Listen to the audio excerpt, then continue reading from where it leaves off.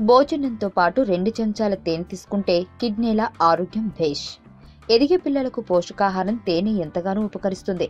ఆరు నెలల పాటు రోజుకు రెండు లేదా మూడు స్పూన్ల తేనె తీసుకుంటే గుండెకు మేలు చేసినట్లే. తేనెను రోజువారీగా తీసుకుంటే కంటి దృష్టి లోపాలు తొలగించుకోవచ్చు. తేనె నిమ్మరసం సమభాగాలుగా తీసుకుంటుంటే గొంతులో ఏర్పడే సమస్యలను తొలగించుకోవచ్చు. తేనెలో ఊరబెట్టిన ఉసిరికాయలను గర్భిణీలు రోజు ఉదయం సాయంత్రం ఒకటి లేదా రెండు తింటే పుట్టబోయే శిశువులకు బలం చేకూరుతుంది. భోజనానంతరం తేనెను తీసుకుంటే పిత్తాన్ని దూరం చేసుకోవచ్చు. శరీర వేడిని తగ్గించుకోవచ్చు. మనం తీసుకునే ఆహార పదార్థాలు పానీయాలు మొదలైనవి.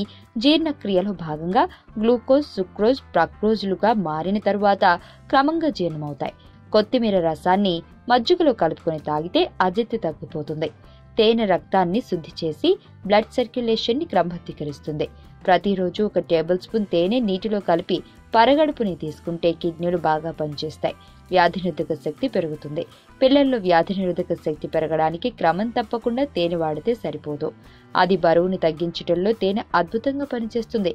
రోజు ఉదయాన్నే ఒక గ్లాసు గోరువెచ్చని నీటిలో ఒక టేబుల్ స్పూన్ తేనె ఒక చెక్క నిమ్మరసం కలుపుకుని తాగితే స్థూలకాయాన్ని నివారించవచ్చు. ఎనీమియా ఆస్తమా బట్టతల తీవ్రమైన జ్వరం తలనొప్పి బీపీ ఒత్తిడి పక్షవాతం వంటి అనేక వ్యాధులను దూరంచుతుంది భోజనంతో పాటు రెండు మూడు చెంచాల తేనె తీసుకుంటే అలసట నిస్సత్తువు పోయి చాలా ఉత్సాహంగా మారుతారు.